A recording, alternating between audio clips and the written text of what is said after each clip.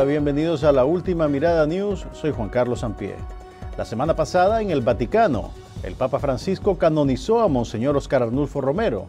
En Managua, el gobierno del comandante Ortega celebró el nombramiento del primer santo salvadoreño y centroamericano. Y nos alegramos y compartimos el orgullo del pueblo salvadoreño. Horas después, ese mismo comandante Ortega mandó a hacer esto.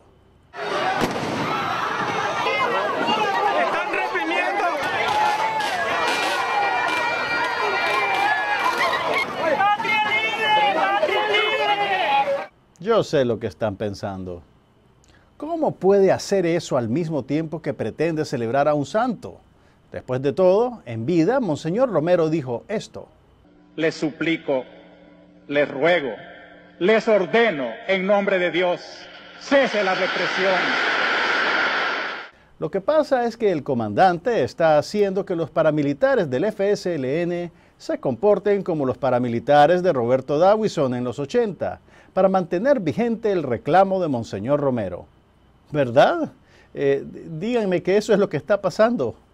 Por favor.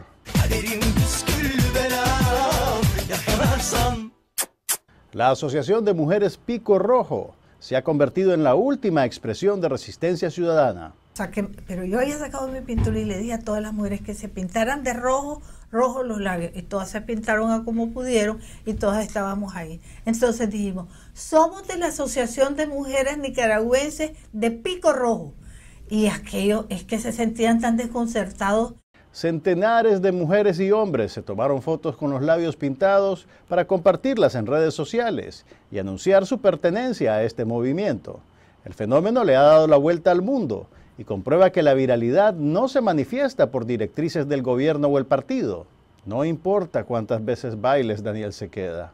Daniel, Daniel, el pueblo está con él. Mientras tanto, la organización de Nicaragua Diseña decretó la prohibición total del uso del lápiz labial rojo en el maquillaje de sus modelos. Me pintó así en negro los ojos y la boca porque soy darks. Ahora el evento cumbre de la moda oficialista será Darks. Tú no puedes ser darks. Y la compañera Rosario está renunciando al maquillaje por completo.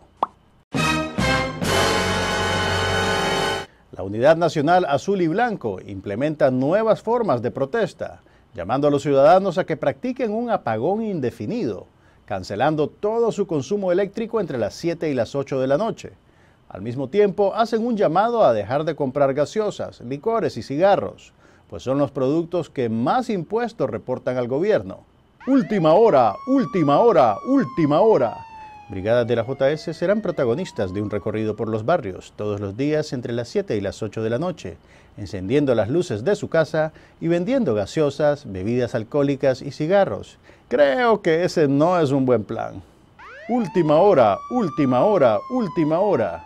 Los compañeros de la JS reportan la cancelación del recorrido por los barrios entre las 7 y las 8 de la noche, por la desaparición de las gaseosas, los cigarrillos y las bebidas alcohólicas. Los muchachos también reportan encontrarse incapacitados por goma. Ah, la goma. Esa arma secreta del capitalismo. Buenas noches.